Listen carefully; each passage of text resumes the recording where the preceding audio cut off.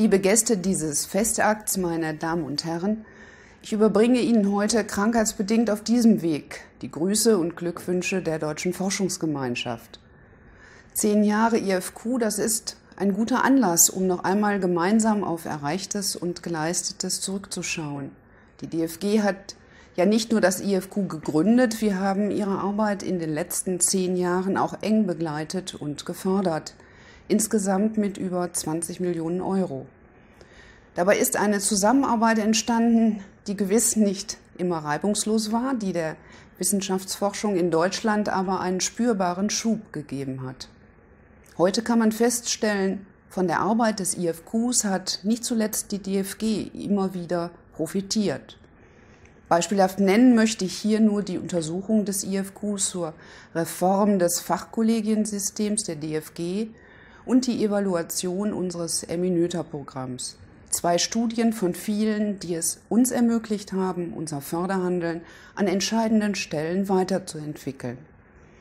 Ich nehme diese Festveranstaltung deshalb gerne zum Anlass, um Ihnen, lieber Herr Hornbostel, und den aktuellen und auch den ehemaligen Mitarbeiterinnen und Mitarbeitern des IFQs zu ihrer Arbeit in den letzten zehn Jahren zu gratulieren.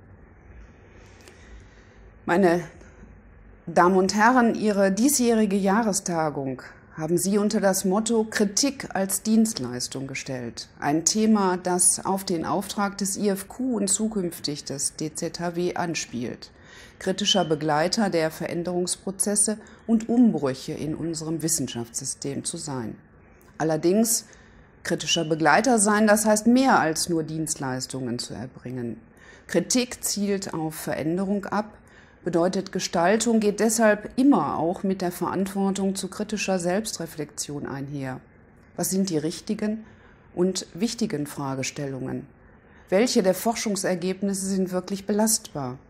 Wie können wir von einer reinen Beschreibung von Entwicklungen zu einem wirklichen tieferen Verständnis der treibenden Faktoren gelangen?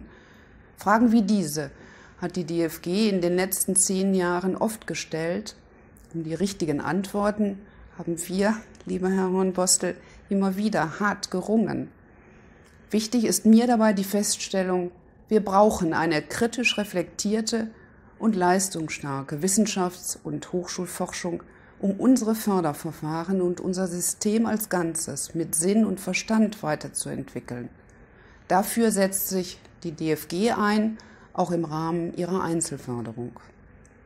Zugleich wissen wir, eine leistungsstarke Forschung kann es nur dort geben, wo es auch leistungsfähige und dauerhafte institutionelle Strukturen gibt.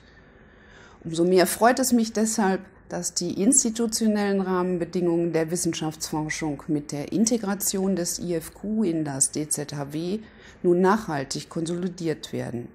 Das wird ihren Fokus verbreitern. Sie werden einen stärkeren Akzent auf die Wissenschaftssystemforschung setzen können dass dies auch für die Deutsche Forschungsgemeinschaft als Förderer der Forschung an Hochschulen von großem Wert ist, das liegt dabei auf der Hand.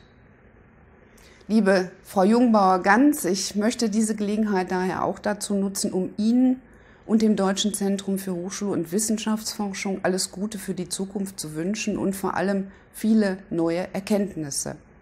Wir freuen uns darauf, von Ihren Studien zu hören, zu lesen und davon zu lernen.